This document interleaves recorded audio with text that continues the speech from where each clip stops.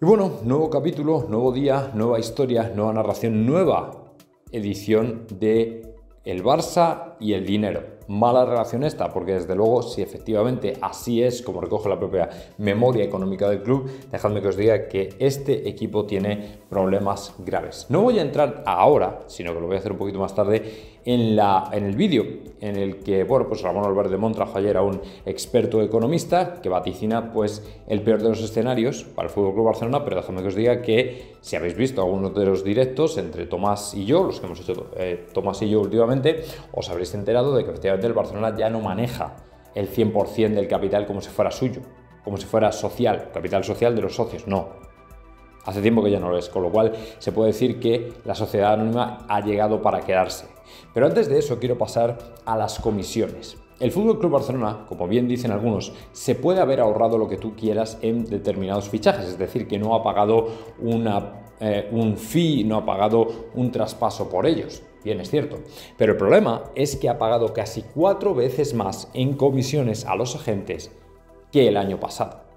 Aunque nunca va a ser lo mismo pagar 60, 70, 40, 30, 50 millones por un jugador que 3 millones más por una comisión, sí que es verdad que al final estos jugadores que decían viene gratis no han venido tan gratis. Estamos hablando de un total de casi 12 millones de euros en comisiones, ¿vale? 12 millones de euros es un pastizal para un equipo que está arruinado, pero es que no es solo las comisiones, es que esos jugadores cobran y ahora estos últimos días nos hemos enterado de que cobran bastante más de lo que dijeron a la liga, ¿vale? A la liga le dijeron 400.000 Joao Félix y resultó que ahora tiene 4 millones. Menuda metidita, ¿eh? Claro, lógicamente con permiso de Tebas, yo os lo digo yo. O sea, que Tebas no supiera esto, vamos, eso no se lo cree ni él, ¿vale? Eso no se lo cree ni él. 4 millones de euros, Joao Félix, recordémoslo bien. 400.000, lo que nos contaron. 400.000, lo que admitió la liga. 4 millones, la realidad. Más luego comisiones.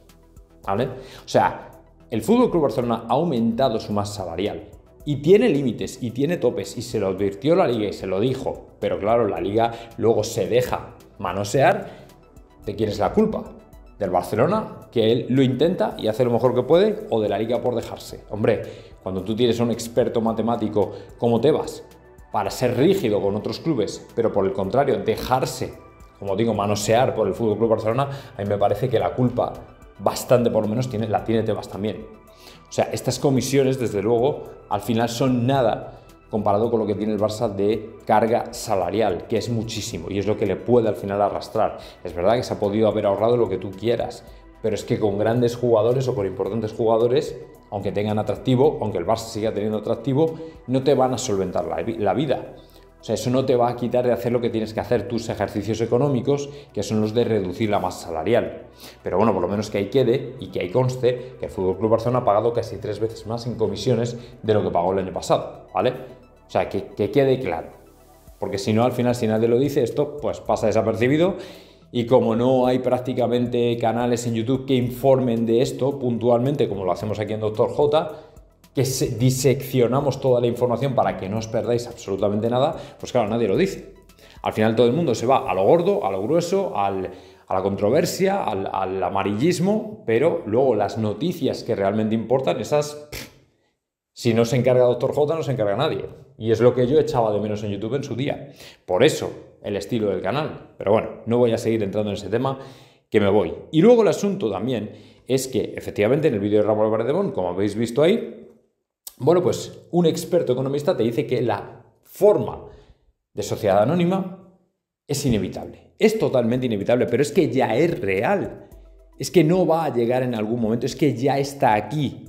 Es que el otro día Vos Populi publicaba un artículo en el que decía, como pudisteis ver, que efectivamente, ahí lo vistes, el Fútbol Club Barcelona si quiere una venta, si prevé una venta, no puede decirlo al 100%. No puede decir, oye, se hace lo que se quiere y decidimos nosotros. No, porque el umbral del 20% es el que han establecido los inversores para que se les pregunte, para que se les tenga en cuenta, para que no se les ignore, para que haya una voz como medida que diga, oiga, que nosotros hemos prestado aquí dinero, que nosotros hemos puesto aquí dinero.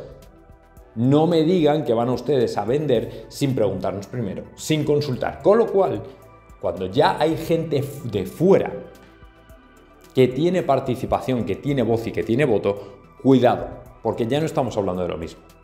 Ahora ya el Barcelona sí que se puede considerar una sociedad anónima y está funcionando como tal. Cosa, por cierto, también dicha por Guijarro.